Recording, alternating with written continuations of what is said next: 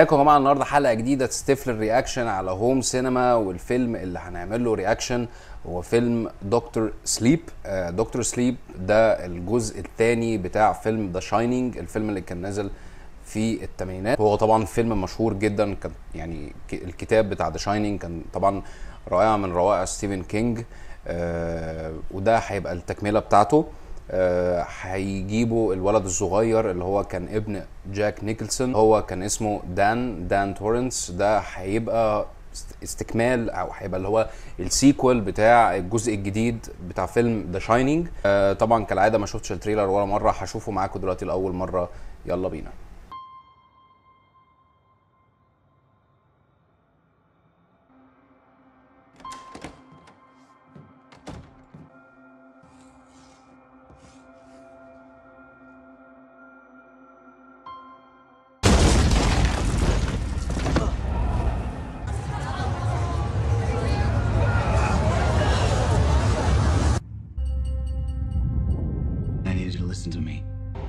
I was a kid, I bumped into these things.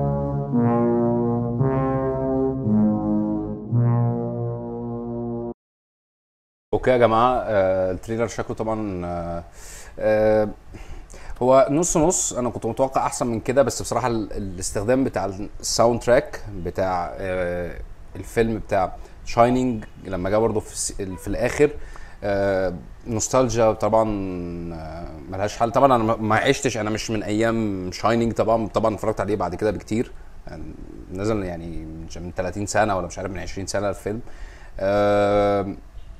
عجبتني أول حتة اللي في الآخر إن هو رجع تاني الفندق اللي هو اللي كان معمول فيه فيلم The Shining والحتة برضو بتاعت الباب ال- ال- المشهد المشهور بتاع فيلم The Shining بتاع here's Johnny الحتة بتاعت جاك نيكلسون دي لما كان حاطط لما كان كسر بال بال axe بال بال بالفاس ال- الباب وحط دماغه وقال الجملة طبعا المشهورة.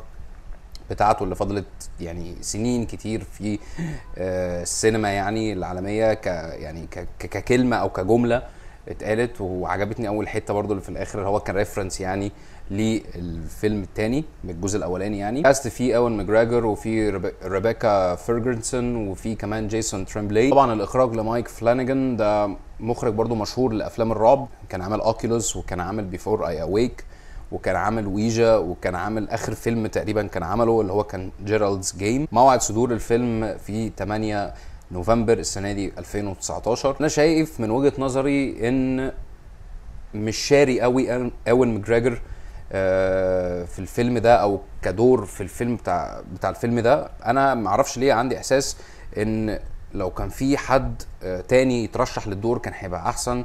وطبعا لو حضراتكم سألتوني كان ممكن مين يبقى أحسن من آه، ايوان ماجريجر في الدور بتاع دان. أنا من وجهة نظري شايف كان هيليق جدا آه، جون كيوزاك. جون كيوزاك الممثل المعروف اللي كان عمل فيلم آه، 2012 وكان عمل فيلم آه، 1408 وكان عمل فيلم Identity كان عمل فيلم كتيرة جدا.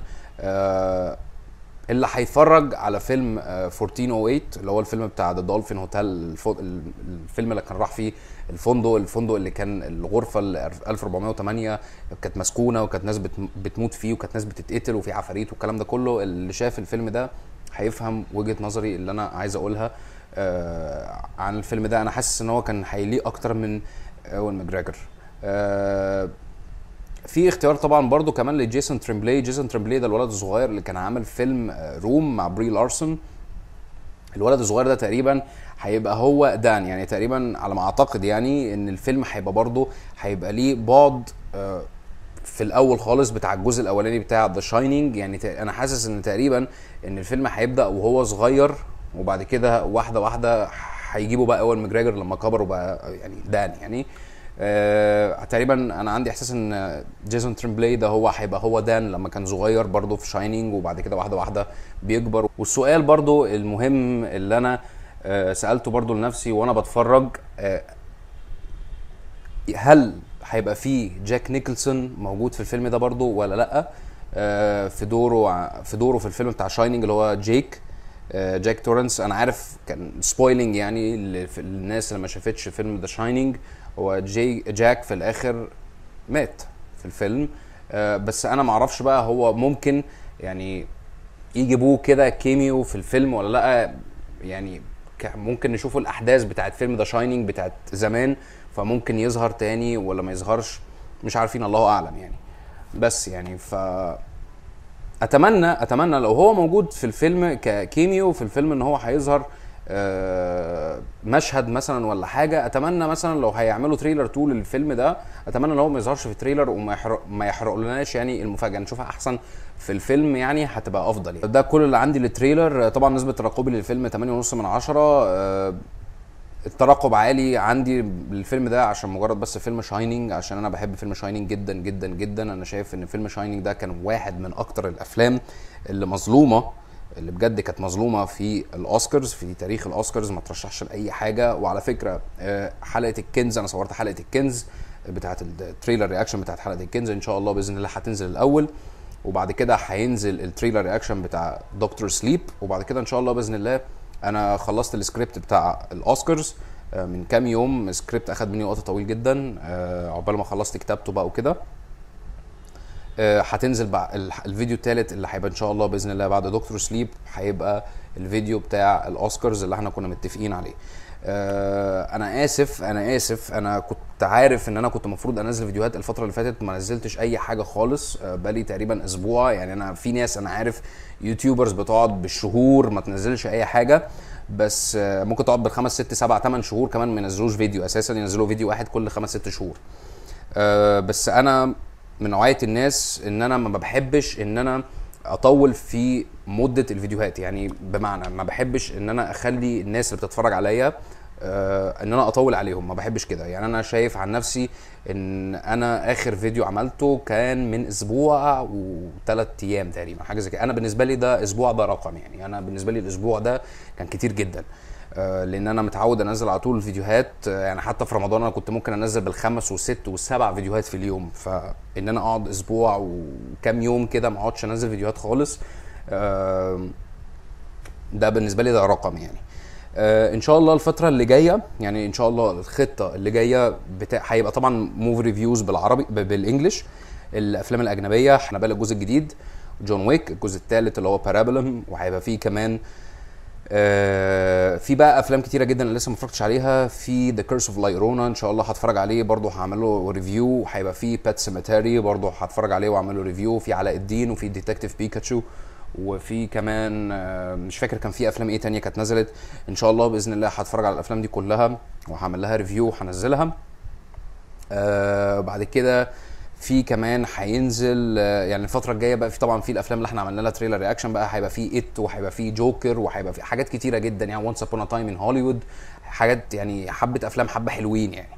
وبعد كده بقى هنتنقل للأفلام العربي في العيد ده العيد لسه كمان شهرين يعني.